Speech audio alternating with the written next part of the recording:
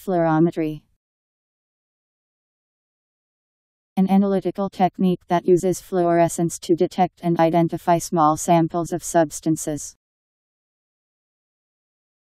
F L U O R O M E T R Y. Fluorometry.